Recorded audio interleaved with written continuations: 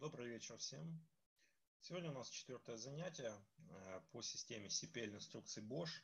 Э, по поводу того примера, там было э, то, что мы говорили про бинарное сравнение. Там было именно бинарное сравнение, в другом руководстве так было и написано. Сегодня мы вернемся на один шаг назад и посмотрим некоторые примеры использования перманентных переменных. И сегодняшняя наша задача это а, еще будет один пример null, как его можно использовать в условиях. Мы только сказали, что мы можем э, создать вакантность переменной, то есть удалить ее. Есть еще один вариант использования. Точно так же работает система FANUC. Мы поговорим об null. А, операторы сравнения рассмотрим. И такие функции, как repeat until, for step to next у нас было. Это еще один пример. Оператор go to и условия его работы. После чего мы рассмотрим один пример на использование условий э, if, else and if и использование такого, такого, такой функции, как case. После чего попробуем составить небольшую пользовательскую управляющую программу, которая могла бы сделать циклическую обработку. Ну, например, обработку квадрата для начала. Со следующего занятия мы подключим другие операторы и попробуем использовать более сложный пример. Сегодня мы попытаемся начать это. Итак, первое, давайте посмотрим на, э, данное, на данный слайд.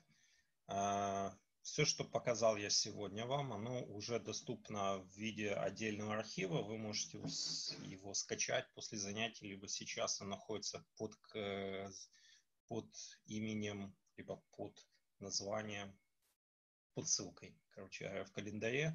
Вероятно, кто видел, можете скачать его. Итак, давайте посмотрим.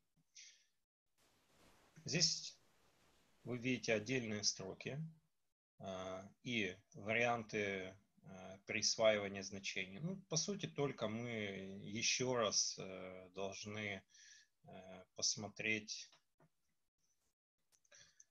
должны посмотреть на такое действие, где происходит э, присваивание, а также к чему мы это присваиваем, то есть какой тип данных есть в переменной и э, какой группе либо виду переменных они относятся. Вы видите, что перед каждой переменной стоит знак, э, стоит знак э, add, это значит, что данная переменная имеет свойство, она является глобального типа, либо перманентно, точнее не глобальная, глобальная это решетка, и мы можем использовать ее в рамках программы. Вы видите названия, а, которые э, могут быть как цифровыми, так и, в принципе, э, текстовыми. При этом есть возможность использования букв, после которых идут цифры, либо цифры, после которых идут буквы. Также используются знаки соединительные, например, подчеркивание нижнее, либо тире. Здесь э, в начале кадра не указаны энкоды, так как эта CPL-инструкция не является выполняемой, точнее она выполняется, но она является логической, то есть она никак не производит, например, смещение по координатам, либо какое-то реальное действие. То есть это просто логическая запись одной информации в другую. Тут написано следующее, да, пользовательская, точнее, э, перманентная переменная, либо постоянного типа переменная равняется 1. То есть 1 записывается в, с левой стороны, и теперь переменная 1 будет равняться единичке два каунтера. То есть это просто примеры записи. Имеется в виду не совсем запись, а примеры синтаксиса. То есть как мы можем ее организовать, как она может называться. Здесь, например, идет 2 каунтера равняется 2. То есть вот эта переменная, которая может и так называться, она получила 2. Здесь переменная ABCD получила 3. Но нужно учесть, что это переменная, то есть тип данных, который мы записываем, является integer, то есть он является целым. Это значит, что мы можем записать ее в переменную типа данных integer. Поэтому после переменной нашего типа перманентного стоит информация о типе данных, это знак а, процента. ABCD, знак процента равняется 3. 3 записали в переменной ABCD. Здесь то же самое, только записываем мы значение а, с плавающей точкой rel. Это значит, что а, записывается она без указания знака integer, либо с указанием знака double, то, что вы видите в нижней части Э, строке 30. В 30 строке записывается большое значение и относится к double, значит после значения переменной, название переменной мы ставим знак восклицательный, ijkl, восклицательный знак. IJKL это значение переменной, то есть ее название, ее имя фактически оно может быть любым. То есть это не принадлежность каким-то там IJK кодом, либо повторением, это просто название. Как мы можем видеть, что это переменная?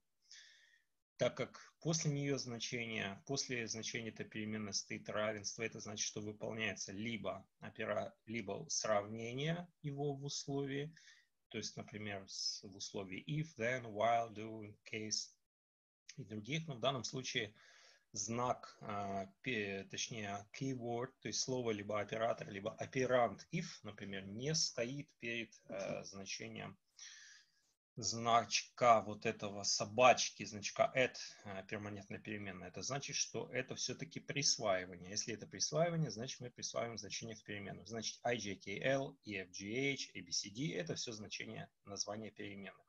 Значения же, которые они получают, они получают раз после того, как система прочитала правую часть и записала в левую.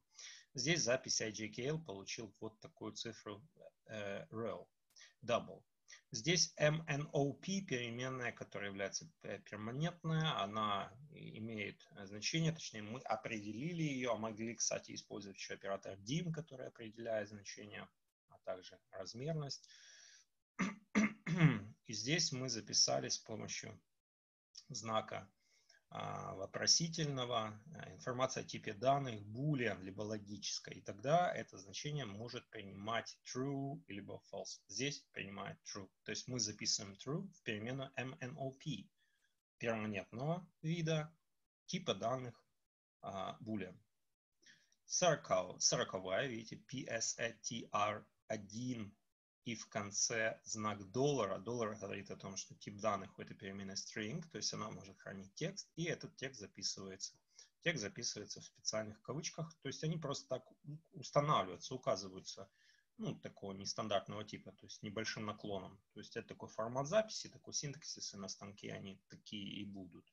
Поэтому вам не нужно искать там какие-то соответствия оси кодов, либо еще чего-то другого. Ну, наверное, на следующем занятии давайте возьмем эту табличку. Мы говорили, что есть такая, такой keyword, как SHR, да, э, знак доллара, который... Вопрос можно? Да, давайте. А вроде как мы смотрели, что по перманентной может быть э, имя от Сейчас 1 до 50. Да, сейчас, нет, почему? Может быть от 1 до 50, может быть значение, любое другое также может быть. Это просто в примере было по системе 2. Это я специально взял. А тип перемены вроде только intent, integer там в таблице был. Да, в таблице был действительно тип integer. Ну, давайте тогда сейчас об этом. То есть в второй версии системы Bosch и в языке как раз uh, CPL2 использовался, uh, использовался тип данных integer uh, для переменных перманентного типа, которые могли как раз содержать значение целое, то есть без плавающей запятой, либо других типов. А, но в более расширенных версиях а из руководства номер 3, то есть не два типа данных, а три, как раз я взял вот такие расширенные возможности системы, э, где вы можете видеть, что переменные уже могут называться по-другому, и в них можно присваивать значения. Почему вышла небольшая путаница? Изначально я сказал, что можно использовать любые но потом, в, как раз вот на третьем занятии, мы увидели как раз руководство, что можно только integer. Поэтому я хочу показать вам, что есть возможность и а, что и есть возможность использовать и другие а, варианты а, названий, и другие варианты типов данных для записи. Как раз ответил на ваш вопрос. То есть первый раз все-таки я сказал правильно, но сказал для более новых станков с точки зрения третьей версии, так как в принципе системы Bosch э, в СНГ покупались э, в годах там 2000-2005 в основном, то э, больше, то есть большой их поток. Соответственно, в данной серии больше используется руководство номер два, то есть серия номер два по CPL инструкциям, поэтому мы рассматриваем на примере руководства с 2, а это руководство с третьего инструкции. Поэтому здесь уже нужно для тех, кто будет работать с этой системой ЧПУ, вы увидите небольшую разницу. Нужно э, как раз вернуться к руководству по эксплуатации, той версии, которой вы используете, то есть которой будете работать. В данном случае это не является ошибкой. С другой стороны, если мы а, пишем в таком формате, да, например, когда значение а, переменной перманентного типа может иметь значение не цифровое, а, например, буквенное, при этом тип данных у нас будет boolean, если мы это напишем, например, в серии старого, старой системы Bosch, соответственно, будет ошибка, так как он не, это не поддерживает. А новая система поддерживает и первый, и второй вариант. То есть э, фактически вторая версия поддерживает вот такой вариант написания. То есть когда стоит integer и тип данных целое. То есть есть такой и такой вариант. Более новые станки работают только так. Давайте посмотрим еще. То есть здесь есть вот еще три такие варианта, три такие записи, варианты записи, да, 45 квадрант VZNR, WZNR, то есть это такая же переменная перманентной группы, которая принадлежность идет integer, и она имеет значение как раз 2. То есть вот это значение в скобках, оно определяет у нас длину, то есть количество символов. То есть получается, что мы указываем количество символов 2, но можем записывать и один символ, например, символ 6. То есть мы должны указать а, максимальное значение символов. В любом случае, либо а, равное значение символов, которое будет записываться, либо больше на одно, ну, либо больше там, на несколько. Главное, не меньше, иначе просто значение округлится, либо обрежется. Здесь мы записываем значение 6. Теоретически мы могли бы записать, например, там и 61. 2, 6. Следующий вариант показывает значение для указания real значений. Обратите внимание, что после значения переменных указание, тип данных не указывается, значит он относится к real данным. А это те, тот тип данных, который используется для ввода значений с плавающей запятой. То есть когда есть какое-то значение там 7,6. То есть мы можем использовать его не для счетчика, например, которым бы мы считали по одному 6, 7, 8, а, например, для координаты по x координата по x g01 x 7.6, то есть 7,6. В таком случае мы должны указать и проинформировать систему, что запись будет переменной real. Мы и записываем real, потому что перед ней не стоит integer. А если бы стоял integer, то была бы другая ошибка, потому что не соответствовало бы значение записи, потому что не стоит знак integer э, вот этому потому что это определяет как раз запись в 3,2, определяет э, запись количества символов до запятой и после запятой. Так как мы указываем это для rel, значит не должно стоять ничего после как раз значения имени перемены WZ-core. То есть здесь стоит все правильно. Теперь 7.6, что это значит? Можем указывать максимальное значение. Вот скажите сами, какое максимальное значение можно написать, записать в переменную WZ-core? Цифровое. 9,9.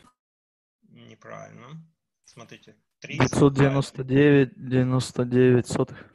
Правильно. 999, 99. То есть это максимальное значение, которое мы можем написать. Если нам необходимо записать, ну, то есть, в принципе, это значение там среднего перемещения. Если взять э, там портального станка, либо какой-то расширенный станок, у которого есть еще одно значение, то мы указываем еще одну цифру, да, например, 99999. Если мы работаем в дюймах, тогда 9,9, но тогда здесь не надо. Тогда мы, получается, будет вариант либо 3,4, либо вариант 4,3. Вот здесь они и записываются. То есть это значение плавающей точке до количества символов, до ее и после нее. 7.6 это то, что мы записываем непосредственно сюда. Нужно следить, что мы именно пишем и э, пропустить как раз вот э, значение integer, там, то есть какого-то символа, потому что real определяется без символа. Ну и последнее, что увидите, мы определяем количество символов для ввода строкового, то есть string текста, где DE записывается как текст переменную PSATR2. Видите, то есть тут совмещенное значение и э, в имени названия, и э, буквы и цифры вместе.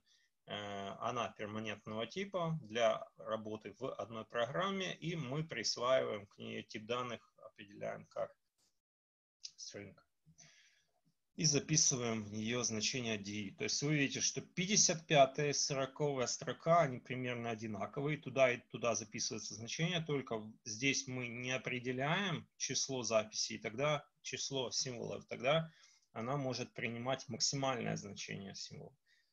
Опять же, мы говорим о количестве памяти, которое выделяется под хранение для данной переменной, переменной типа string перманентного вида. То есть если вы используете несколько переменных, у вас там новый станок с, там, с нормальным объемом оперативной памяти и так далее, то это не имеет значения. Для более старых станков используется как раз такое uh, limitation, ограничение, да, ограничение для того, чтобы uh, задать и выделить ту часть памяти, которая необходима. Все ли тут понятно?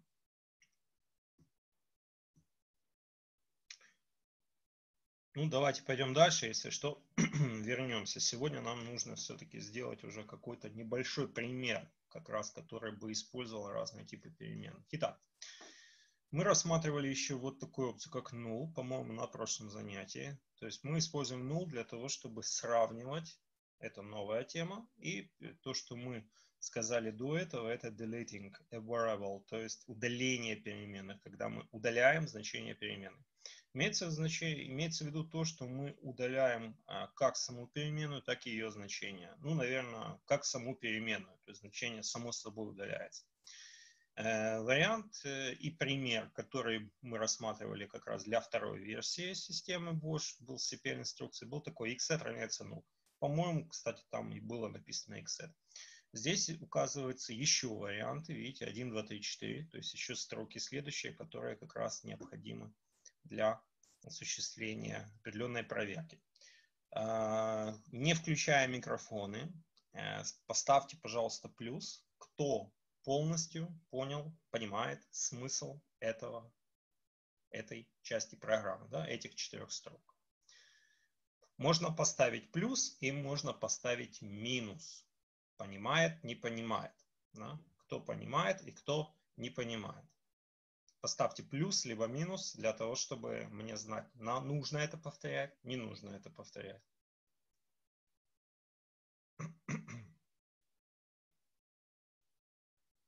Я понял, 50 на 50. Давайте тогда еще рассмотрим немножко. Значит, удаление переменных. Все, можно не писать, окей.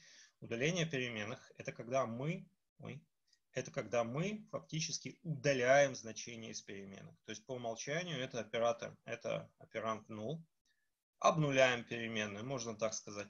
Немножко не называется именно обнуляем, потому что обнуление это как будто бы ноль присваиваем. На самом деле это не ноль, а это ничего. То есть это как раз вот вакантность переменных. Ну, можно сказать и так. Ну, первый вариант это xset равняется null.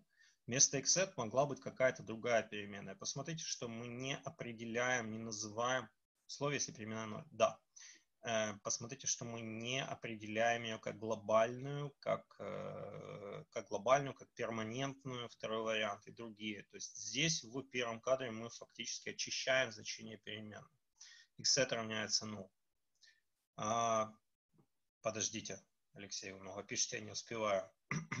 Александр, точнее, извиняюсь. xset э, равняется 0. Ну, все правильно. Дальше в втором, третьем и четвертом кадре, а их мы читаем вместе в принципе, потому что это начало условий и завершение условия, мы проверяем а, это значение. Что значит проверка? Сам оператор null, который, либо keyboard, ключевое слово null, которое используется для а, удаления значения перемены, либо из создания ее вакантности, мы можем использовать для того, чтобы проверить а вакантна ли она. Один из вариантов проверки этой переменной, а, она работает по системе true-false, то есть по системе фактически логических переменных, то есть булевого типа, логического типа да-нет. А, по такой системе работает как раз она, и если мы сравниваем любое значение переменной с помощью оператора равно с словом null, то есть это не название переменной, да, это специальное слово. Оно пишется именно с одной буквой L, ну, не с двумя, там, не маленькими, а именно так. То тогда выполняется, либо не выполняется действие. Как и любое условие, оно начинается на if, заканчивается на end if, в котором есть такой оперант, как then. Then это тогда.